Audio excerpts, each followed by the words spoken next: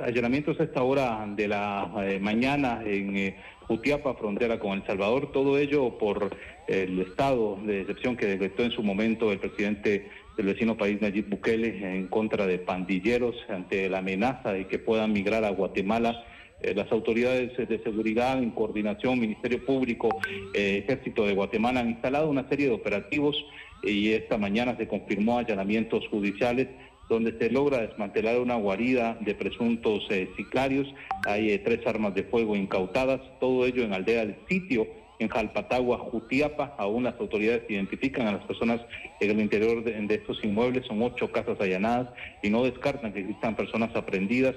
Eh, se incautan armas de fuego que aparentemente utilizaban los criminales para efectuar hechos vandálicos en Jutiapa y en otros departamentos al oriente del país, frontera específicamente con El Salvador. En otro contexto noticioso, queremos dar a conocer que hace pocos minutos se ha registrado un incidente armado en el interior de una bodega denominada Cortijo, esto en eh, la eh, Atanasio Azul, calzada Atanasio Azul, específicamente zona 12 capitalina. Bomberos municipales han arribado y han confirmado que en el interior de estas bodegas eh, queda el cuerpo sin vida del señor David Adolfo Tobar Lima, de 51 años. Él es propietario de una empresa que instalaba blindajes a vehículos y se sabe sería el segundo ataque violento que sufrió, pero en esta ocasión lamentablemente esta persona pierde la vida. Datos preliminares da a conocer el portavoz de bomberos municipales, eh, Javier Soto. Escuchemos en cuanto a las declaraciones.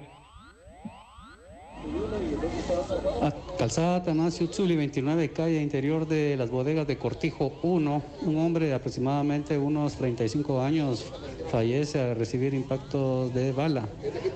Se desconoce las causas del ataque armado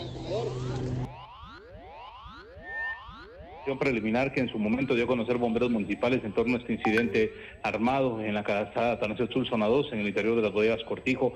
Ya se ha confirmado la identidad de la víctima como David Adolfo Tobar eh, Lima, propietario, gerente general y representante legal de la empresa denominada Blindaje Óptima, Sociedad Anónima. Es importante detallar que la persona el 23 de marzo sufrió un atentado violento en la, zona 11 capitalina. Eh, eh, manejaba su vehículo tipo pick-up cuando fue emboscado en mediaciones del anillo periférico con un impacto de bala. Buscó asistencia en un hospital privado, pero se ha confirmado esta mañana el segundo ataque armado en contra de esta persona, donde lamentablemente pierde la vida David Adolfo Tobar Lima, de 51 años de edad. Con la inmediatez de la Radio Sonora, la única con cobertura nacional.